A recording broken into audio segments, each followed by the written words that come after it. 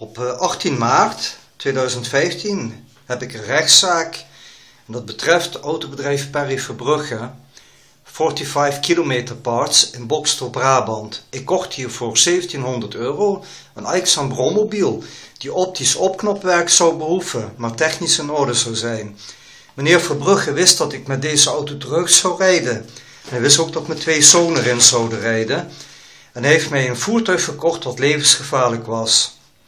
Is onder andere afscheef, de cabine was uh, vastgekit op het chassis, doordat die wagen zware aanrijding had gehad.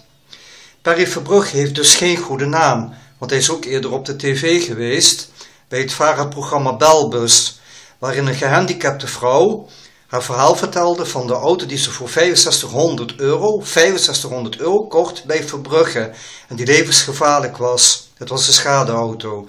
Bij Verbrugge is op de tv geweest, dus een goede naam, dat heeft hij echt niet.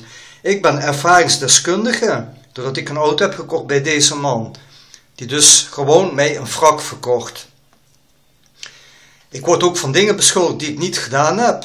En die dingen heb ik gezien in de dagvaarding en dat bleek gewoon satire te zijn. En de heer Verbrugge schijnt ook op zichzelf te reageren, zag ik op de site klacht.nl.